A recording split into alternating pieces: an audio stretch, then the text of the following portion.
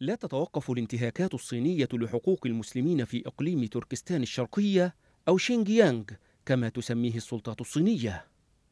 أكثر من مليون شخص من مسلمي الإيغور محتجزون قسرا في معسكرات اعتقال صينية كبرى يخضعون فيها لمحاولات تغيير هويتهم الدينية والقومية ضمن سياق سعي الحكومة الصينية لإضعاف وتفكيك الهوية الدينية والثقافية للإيغور تدريجيا لتصبح مشابهة لثقافة وهوية مجتمع الهان الذي يعد العرق الأكبر والمسيطر داخل الصين. ولكي لا تتعارض مع الأيديولوجية الشيوعية الرسمية داخل الدولة الصينية.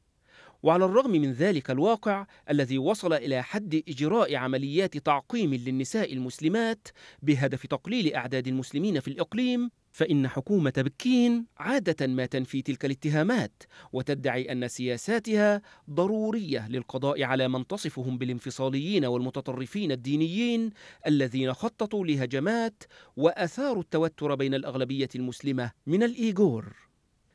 ادعاءات صينية لم تلق صدى لدى المجتمع الدولي.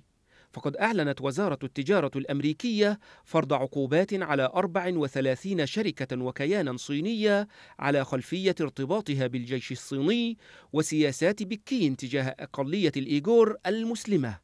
إجراء سبقه إجراء مماثل من جانب الاتحاد الأوروبي وبريطانيا وكندا قبل أشهر قليلة حين أعلن عن عقوبات ضد عدد من المسؤولين السياسيين والاقتصاديين في الصين بسبب تورطهم بارتكاب انتهاكات لحقوق الإنسان.